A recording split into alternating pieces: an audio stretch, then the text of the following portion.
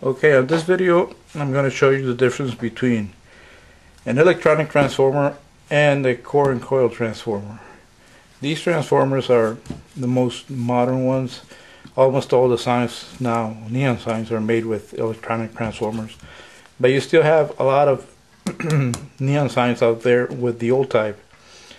And um, they display a, a, a, little bit of a difference in um, the way you see a neon light up when it's uh, when there's something wrong with the with the neon sign. We have here is a Budweiser bow tie type of neon sign, and uh, obviously it has a broken section here.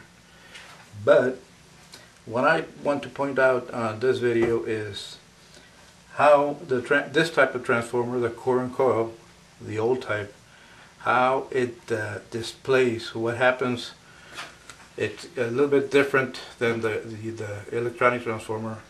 Uh, the core and coil transformer behaves a little bit differently when there's a bad section. Let's say this section was complete you didn't it, it wasn't broken and you don't know what's wrong with the, with the sign. So let me show you first of all let me turn it on. You see that it flickers. You see this part is flickering?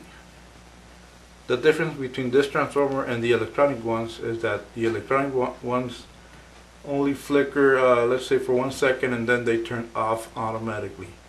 These transformers do not turn off. They they keep on going. And let me uh, turn off the light so you can see uh, better. Okay. You can see that uh, everything's lighting up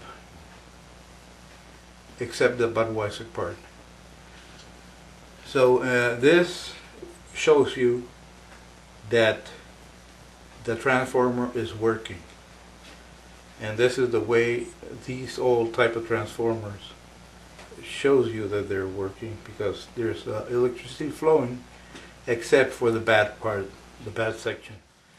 Now the uh, if for for example if uh, you would have had a bad transformer on this side and you connect and you turn it on if the transformer is not good you wouldn't see any any section of the neon lighting up nothing would light up. It would just be dead. So uh, that's how you determine uh, if the transformer is working or not. You don't see any, any, uh, you could have also the case where the transformer is bad and you have also a bad section. Not necessarily that it's broken, but let's say it just simply burned out, a section that's burned out. So you, you would have uh, um, uh, a bad transformer and a back section, but uh, you would you would follow the same procedure. You would turn it on, and you would see you would see uh, that it, that at least one of the sections, if if, the, if you have a good transformer, one of the sections would light up. If you have a bad transformer, nothing lights up.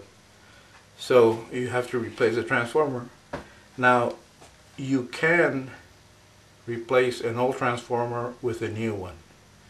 The new transformer, the electronic ones, uh, work very well with any type of neon sign.